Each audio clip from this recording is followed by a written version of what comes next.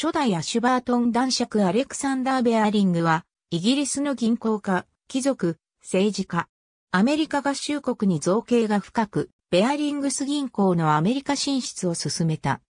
1774年10月27日、ベアリングス銀行の創設者である初代、順番爵サー・フランシス・ベアリングとその妻、ハリエットの次男として生まれる。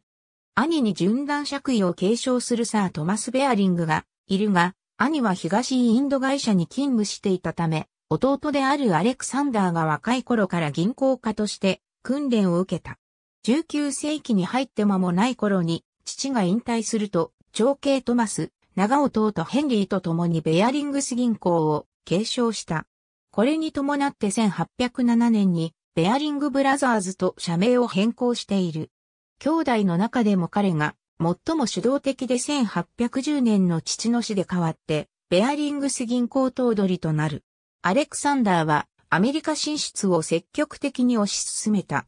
建国されたばかりのアメリカ合衆国のロンドンにおける代理人となり、1803年にはアメリカがフランスからルイジアナを買収できるよう取り計らい、その代金であるアメリカ政府債の発行の引き受けを行っている。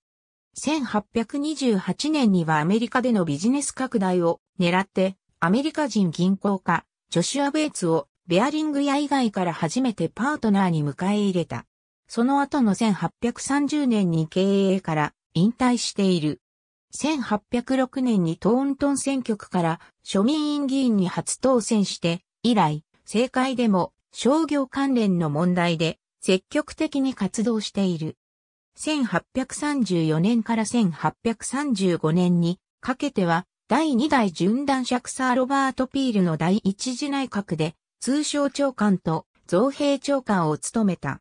1835年4月10日にカウンティオブデボンにおけるアシュバートンのアシュバートン男爵に除され、貴族院議員に列した。英領カナダとアメリカ合衆国の国境紛争をめぐって1842年にはアメリカに特使として派遣され、ウェブスターアッシュ条約を締結した。大英博物館やナショナルギャラリーの管財人も務めた。1848年5月13日に孫に当たる第四代バース侯爵ジョンシンの邸宅ロングリートで死去。爵位は長男ビンガムが継承した。1798年にペンシルバニア州選出のアメリカ上院議員ウィリアム・ビンガムの娘アンルイーゼと結婚し、彼女との間に五男4女を設けた。ありがとうございます。